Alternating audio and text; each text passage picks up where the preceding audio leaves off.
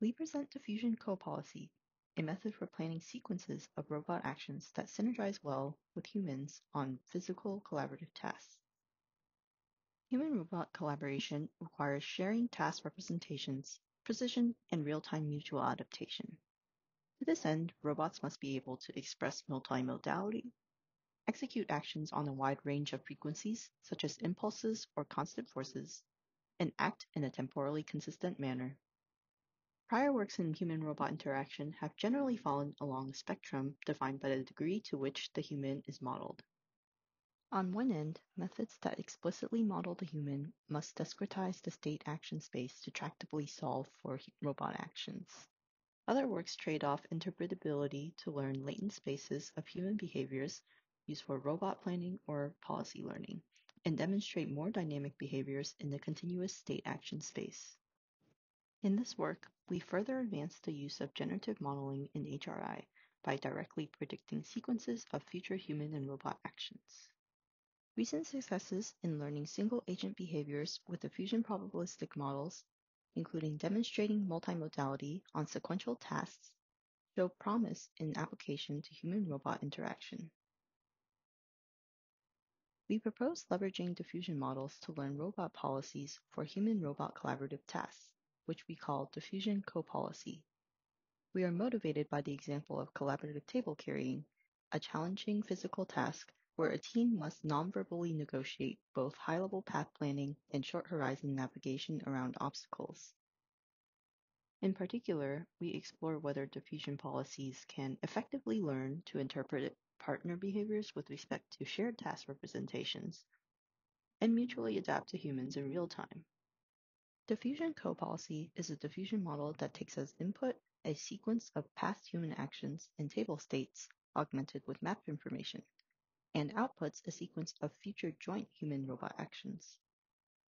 The inputs are embedded, then concatenated as conditioning variables for sampled noise, which undergoes several denoising iterations through a transformer-based decoder to produce a sequence of joint human-robot actions.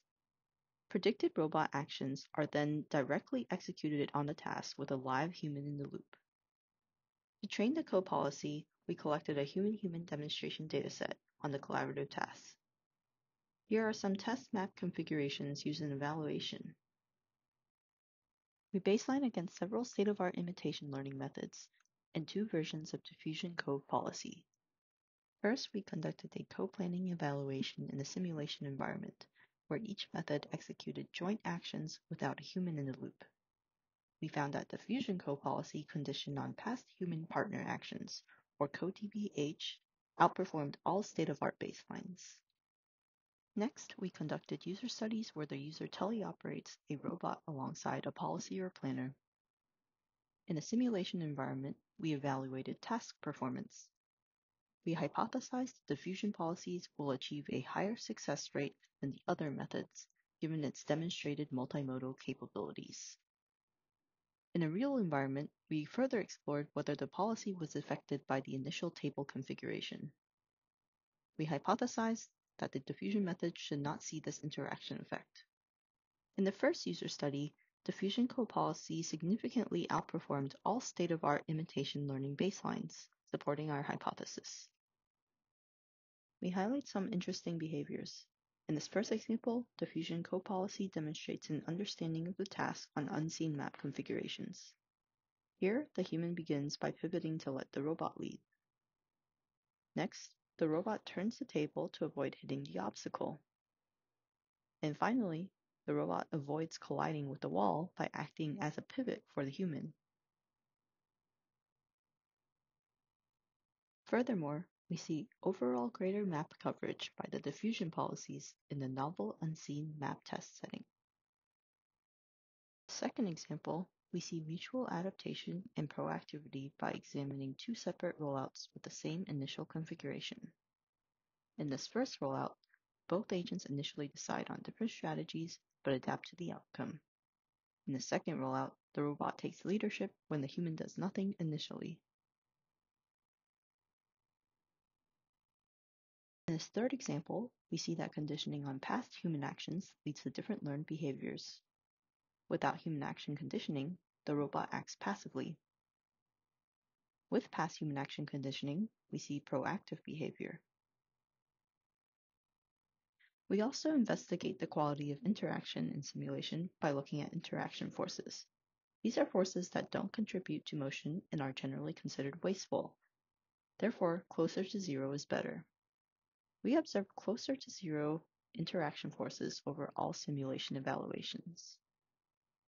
Binning the interaction force magnitudes and normalizing them across all trajectories shows that CODPH exhibits lower interaction forces than other methods over most parts of the trajectories. Next, we tested on a real robot setting where the table is set with two initial configurations, one with the robot in front of the obstacle and the other with the human in front. In the second user study, we verified that all methods except BC-LSTM GMM do not experience a significant interaction effect with the initial configuration of the robot supporting our hypothesis. We further investigate the varied performance of BC-LSTM GMM. Here, we see that CoDPH can work with the human to move both below and above the obstacle.